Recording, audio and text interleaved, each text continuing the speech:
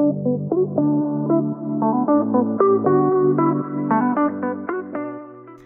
name is Meg Modley Gilbertson. I'm an environmental analyst. My title is Aquatic Invasive Species Management Coordinator, and I work with the Lake Champlain Basin Program.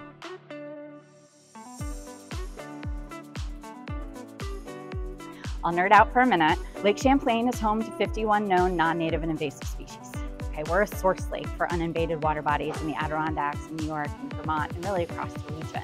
But we also don't want anything new coming into Lake Champlain. So one of the passions of my work is working on the Boat Launch Steward program, where we train about 20 boat launch stewards a summer field season on how to inspect boats and how to remove any aquatic vegetation or mussels or anything that they find on the boat. If you focus on each individual invasive species, it's really easy to get overwhelmed. So we focus a lot on the pathways. And one of the pathways that I'm really excited about working on are the canalways that connect Lake Champlain north through the Richelieu River to the St. Lawrence Seaway and south through the Champlain Canal to the Hudson River.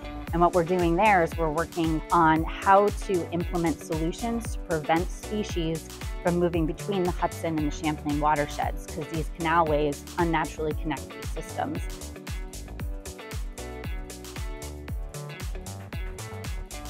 Be open. When I came into my position, I was doing a lot of technical science work as part of a team, and there was an opportunity to focus on aquatic invasive species, and I snagged it.